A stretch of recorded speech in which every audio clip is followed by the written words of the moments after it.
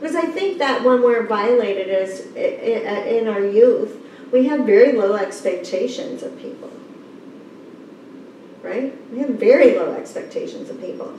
You know? That's why we tend to keep getting it as adults in these situations because, you know, we're going to put up with way more than the next person that hasn't had to work to create relationship. Right? Because we've spent all of our time has been work to have a relationship.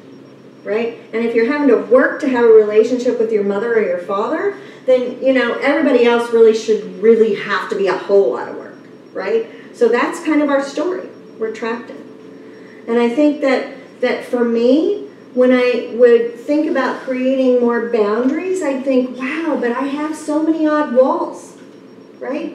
I mean, I have boundaries that get crossed very regularly, but then I have some walls.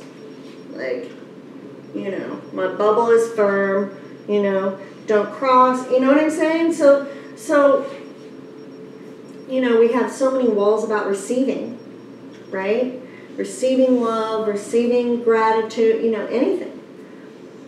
So I, I think for myself, it was really important to switch out of the wall thought and into raising my expectations. Now, people say to me, well, you know, if you raise your expectations, you're going to be disappointed. And I said, well, if you're disappointed, then you're judging the person for their choices. You know, that's different. Because you can invite them to play with you. They don't have to. You know, my mother's still choosing whether she wants to play with me or not. Right? But I'm not going to play that game anymore. Right? I'm not going to walk back into that story and recreate it. Because we can write our next story. We can. It's just truly changing our dialogue in our head and the words we speak.